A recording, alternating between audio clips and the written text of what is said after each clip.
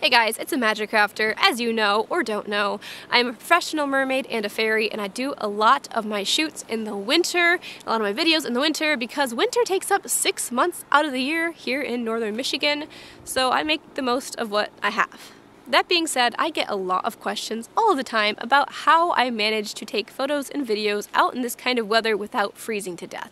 Now, if you haven't already seen my video on how to stay warm as a goth, I will link that below if you would like to know more about the fashion side of stuff.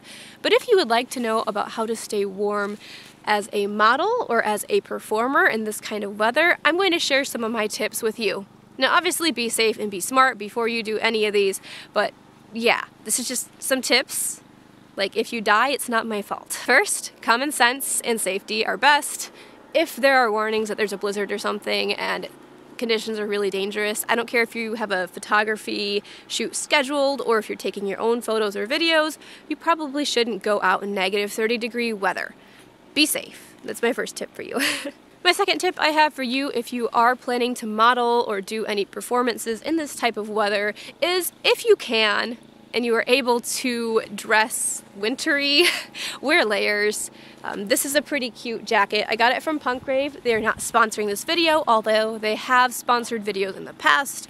But you can get cute jackets from different places and kind of just wear that over layers if you are able to, of course, shoot like a winter shoot.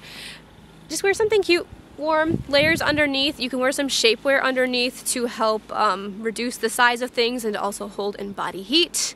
You can get thermal socks and thermal pants and thermal shirts. You can also wear thermal shirts underneath other type of shirts. You can wear tights with your thermal socks. You can wear thigh-high boots with both of those. Just layer up. Today I'm wearing two shirts, a gorgeous winter jacket, a wig to keep my head warm, I am wearing these ripped gloves because they're old and that's what I have.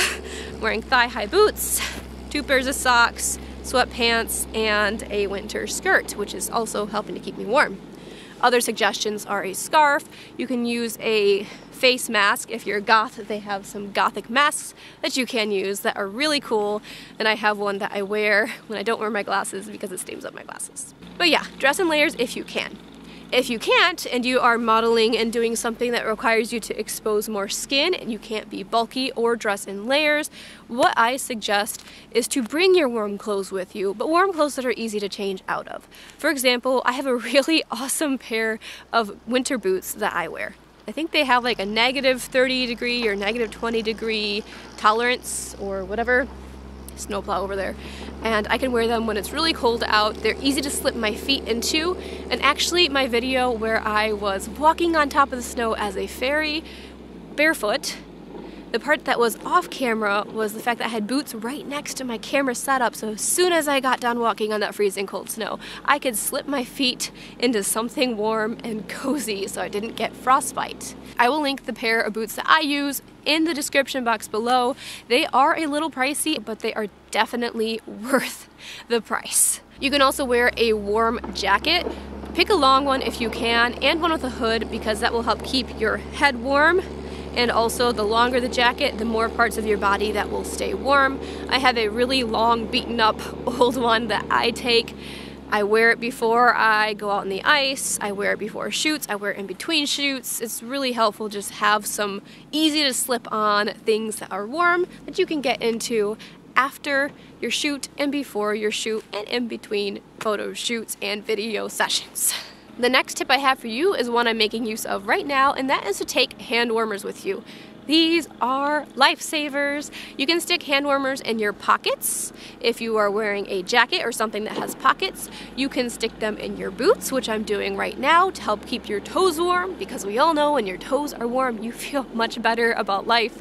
Uh, you can carry them in your purse, just hide them somewhere offset so you can just like, you know, scurry on over there and grab your warm things.